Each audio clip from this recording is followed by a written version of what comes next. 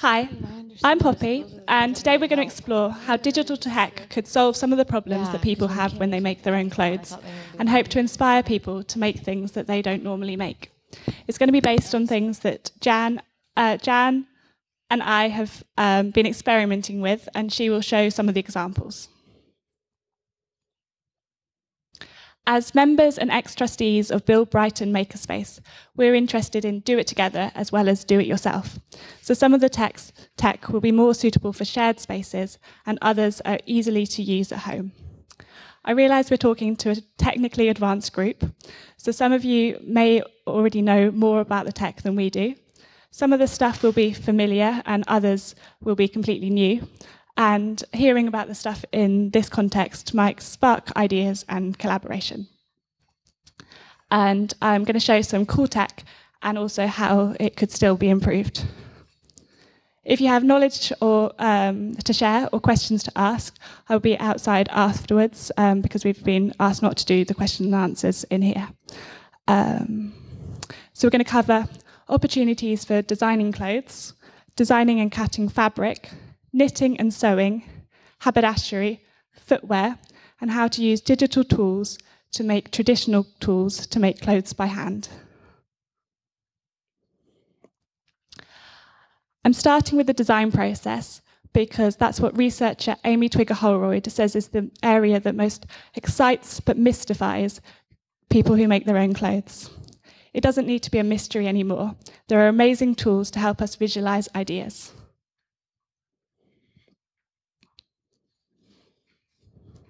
Clo 3D is a garment simulation software that lets you see what clothes will look like before you make them. You can make alterations without committing because you can just press undo if you don't like it. It's easy to make changes and see what the effects will be in real time. And there are stress and strain maps so that you can see that the um, clothes will fit.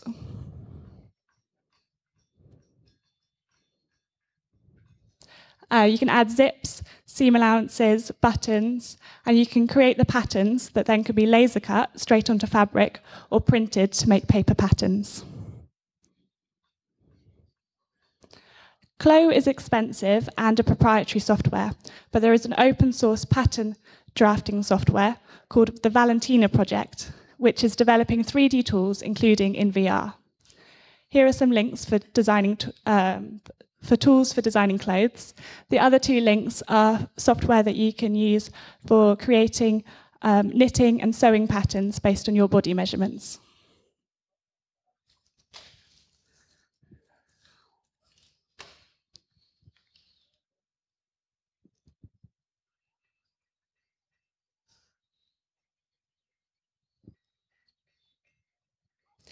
These kinds of software are even more useful if you have a 3D body scan of yourself, because you can design clothes that will fit you perfectly. A group of us at Build Brighton Makerspace have made a 3D body scanner using Raspberry Pi cameras and put the plans online, and it's possible to replicate it for under a thousand pounds. Um, so with the idea that other makerspaces might want to make one too. Arthur Guy, who did the programming, is here at EMF and couldn't have done it without him. So when you buy fabric on the roll, you often end up with small bits you don't use, and the stock changes, so you can't always buy more when you want it. Now there are printing companies where you can order your own designs on a range of different fabrics, from organza to oilcloth. They will, be, they will print several designs on a sheet of fabric, creating less waste. This fabric was printed by Contrado, and then there's lots of samples that are going to be handed around um, so you can see the different materials that can be printed on. I found it really hard to know what to print when I had a completely blank canvas. So the Adobe Capture app is great because it turns a photo into a repeating pattern with some surprising results.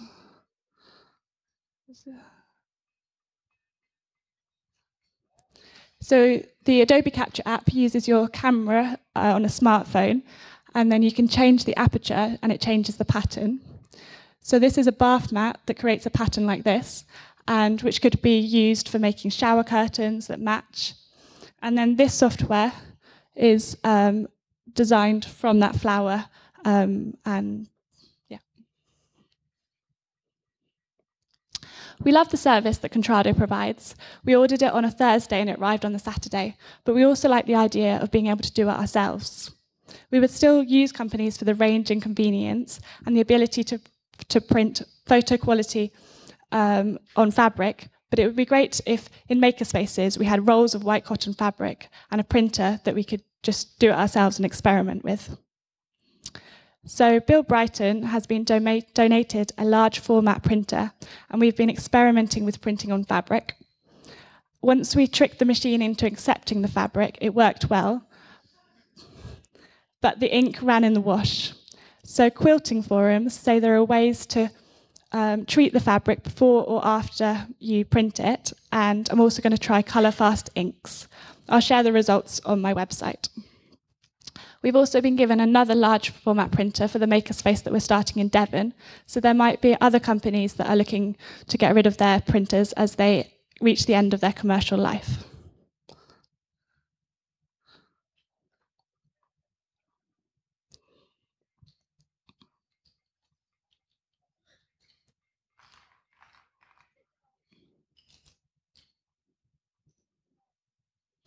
So Contrado are based in uh, the UK, and then Spoonflower is based in the US and has lots of other functions where they can print onto patterns, and um, there's lots of clothes that you can already print onto.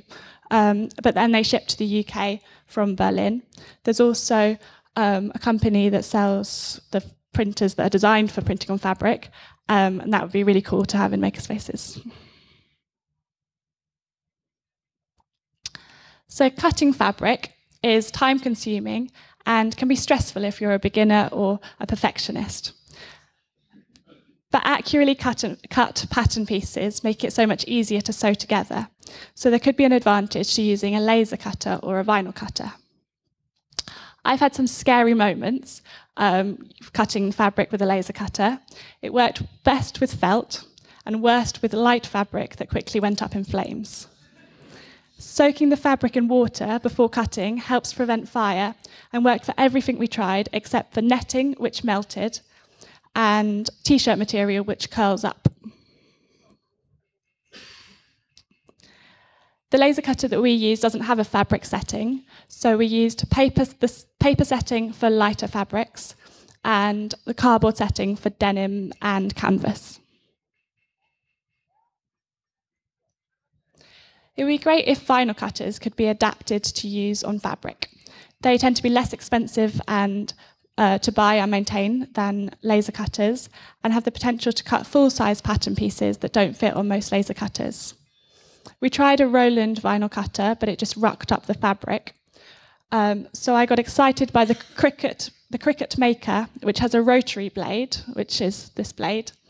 Um, but it's limited by size because you have to stick it onto a mat that's that is a maximum size of 30 by 60 centimeters. And we couldn't get ours to work. The customer service was so bad that we ended up sending it back.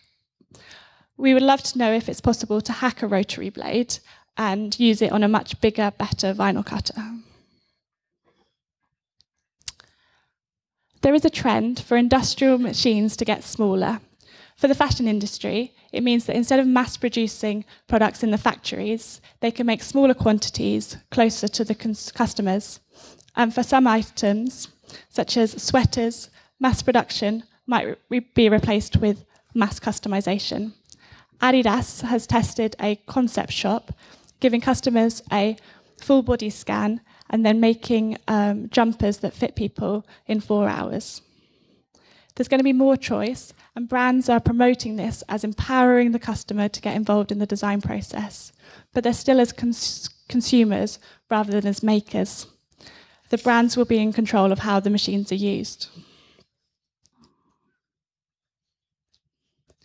If makers were free to use the tools and we could see innovative solutions to problems that businesses don't tackle.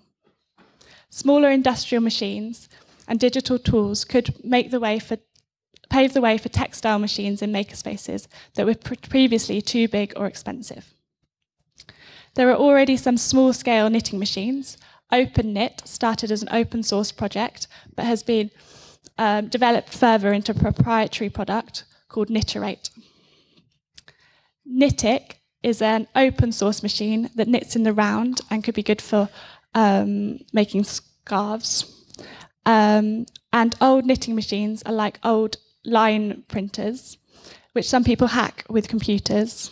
Sarah, Spence, Sarah Spencer is giving a talk about that tomorrow. Also, embroidery machines are popular in fab labs and hackerspaces, especially in America, where they seem to be much cheaper. So we bought a second-hand one from America and use it with a transformer.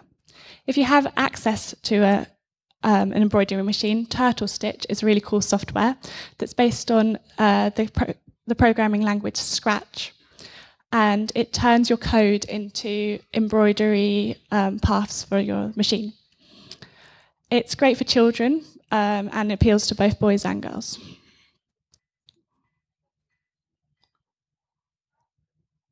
This is a demo of using um, Turtle Stitch. So you drag and drop um, bits of code together, and this is going to make a circle. So on the right hand side, when we press the green button, it will do it. And then to make a flower, you just need to add a bit more code.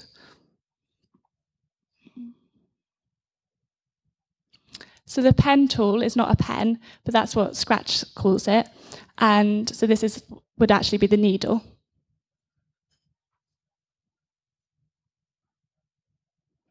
There are lots of designs that you can download for free, which is a great way of seeing how code would um, come together in different ways.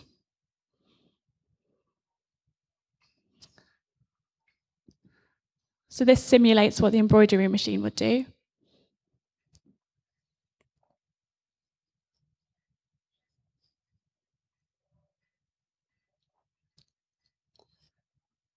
And then this is the finished thing using thread that changes color. Digital technology can also be used to make the components that are normally bought, such as press studs and buttons. Here are some 3D printed buttons that we made from, uh, no, these aren't 3D printed, they're made from waste 3D printed PLA and then melted. Last year, I went to a workshop with someone called Julianne Carl, who is on a mission to reinvent the zipper. She says that although the zipper was invented in 1851, they're still patented, patented which makes it too expensive for many garment makers in developing, developing countries. So she's on a mission to help um, uh, people come up with an alternative. Now on to shoes. There's a lot of skill in making comfortable shoes, but it's getting easier with 3D printers, um, software, and open source designs. I've been experimenting with 3D printing flip flops, which is now circulating um, from designs on Thingiverse. They print quite well in a material called TPU, which is a flexible filament, but the soles are too slippery in wet conditions. The PU stands for polyurethane, which is a common material in shoemaking, but it's usually vulcanized, which is a heat treatment that helps shoes last longer and stop cracking. I'm not sure if it works to do vulcanizing on a small scale, so um, it'll be interesting to find out how long the shoes survive.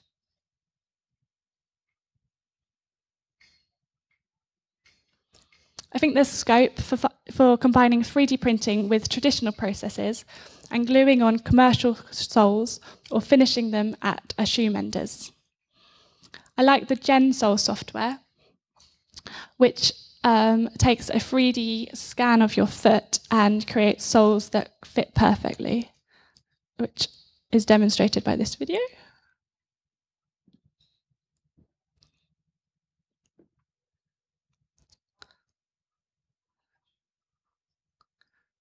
So it sees where the foot and the sole combine and then we'll remove the material.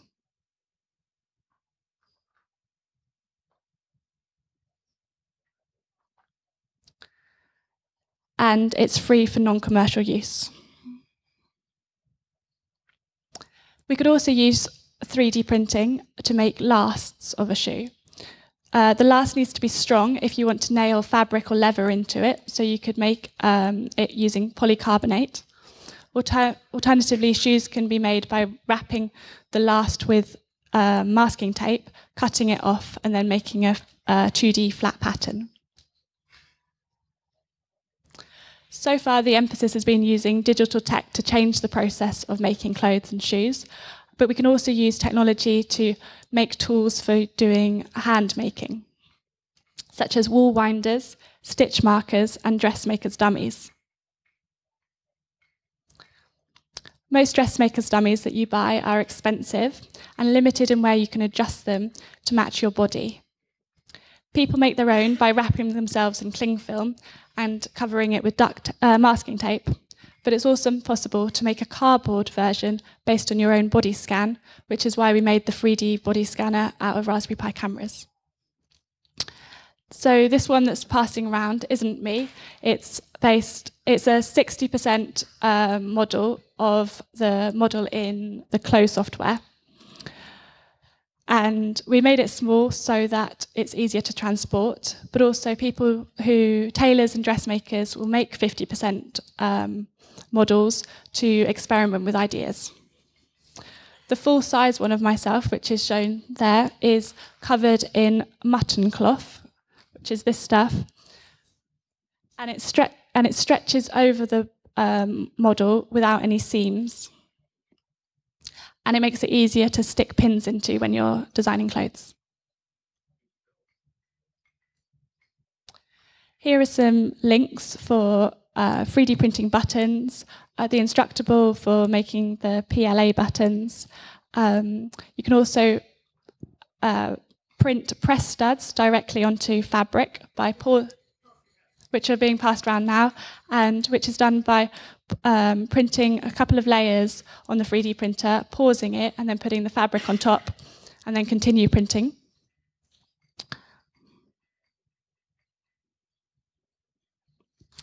We would like to see the tools, like this, the ones in this talk, combined together to make a complete set that are easy to use.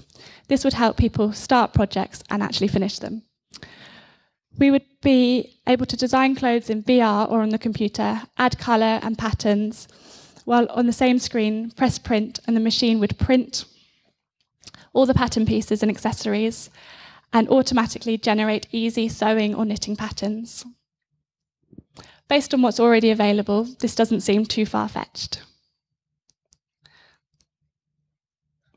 I think the first step is raising awareness of the tools that are available because most of this stuff isn't shown on the gadget shows um, and providing opportunities for people to play and experiment with it, which is why we're setting up a tech and textile makerspace at the community we started in Totnes, Devon. We're accumulating tools and um, for textiles that are great for makerspaces or that could be hacked to make them more suitable for members. The idea is to explore the potential of the tools and share what we learn with other, other makerspaces. And we're also um, going to have a mobile makerspace with the equipment for tech and textiles to take to events, building on our experiences of doing 3D printing at Glastonbury Festival. Before I go, I'd like to thank you all for coming and to thank Jan, John, and Arthur for all their help. If you'd like to keep in touch or check out my website, I have cards to hand out. The cards uh, which might be in my bag. Um, the cards are printed on fabric and then stuck onto card. So the pattern is the is this pattern um, that I made from the flower picture that you saw earlier. Um, but the colours came out less vivid than the on the computer screen. My website hasn't been updated for a while, whilst I've been doing my master's and a Fab Lab course on how to make almost anything. Um, but I've got loads more information and all of this that I'm going to put online soon in the next couple of weeks. And I'm hoping to turn this uh, talk into a magazine article. So if you've got any feedback, please let me know. Thank you.